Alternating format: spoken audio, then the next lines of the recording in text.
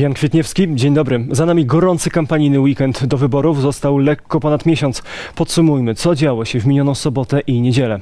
A zaczynamy od starcia na polityczne konwencje. Zarówno Prawo i Sprawiedliwość, jak i Koalicja Obywatelska zorganizowały swoje wyborcze imprezy nie tylko tego samego dnia, ale nawet o tej samej godzinie.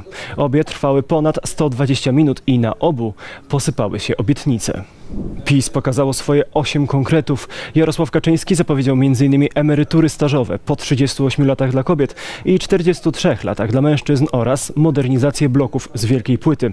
Prezes Prawa i Sprawiedliwości mówił też o darmowych autostradach i bezpłatnych lekach dla seniorów 65 plus oraz dzieci do 18 roku życia. Na konwencji mowa była też o programie 800 plus.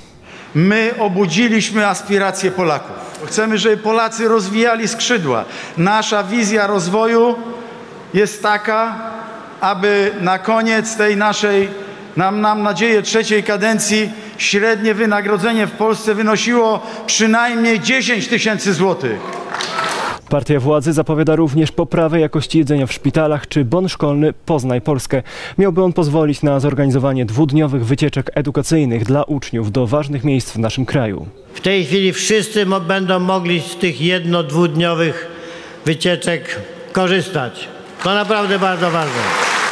Ostatni z konkretów to program Lokalna Półka. Według założeń markety musiałyby zapewnić, że minimum 2 trzecie określonych produktów pochodzi od lokalnych dostawców. Partia chce w ten sposób zwiększyć liczbę polskich produktów w sklepach.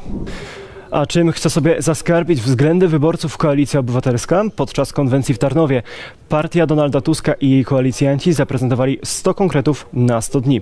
Sporo było o rozliczeniu rządów PiS, ale politycy mówili nie tylko o tym. Obiecali też m.in. podniesienie kwoty wolnej od podatku do 60 tysięcy złotych, 20% podwyżki dla pracowników sfery budżetowej i 30% podwyżki dla nauczycieli.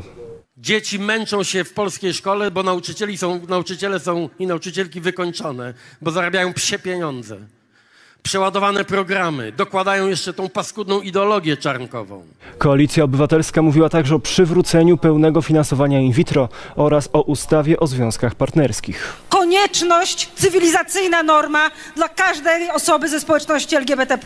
Po prostu związki partnerskie natychmiast. Ugrupowanie pod wodzą Donalda Tuska zapowiedziało też liberalizację prawa aborcyjnego. Przerywanie ciąży byłoby dozwolone do 12 tygodnia. Ale w miniony weekend swoje konwencje miały nie tylko PiS i Koalicja Obywatelska. Swoimi pomysłami gospodarczymi chwaliła się też Lewica.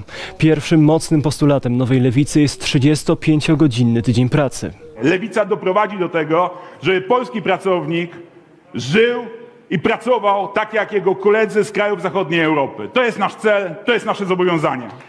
Oprócz tego partia zapowiada dłuższe urlopy, podwyżki wynagrodzeń w budżetówce o 20% i likwidację tzw. śmieciówek. Nasze podsumowanie zamyka impreza organizowana przez Polskie Stronnictwo Ludowe i Polskę 2050. Liderzy obu ugrupowań mówili w Warszawie m.in. o transformacji energetycznej. Chcą inwestowania w tzw. zieloną energię. zajmiemy się tematem zielonej energii w pierwszej kolejności.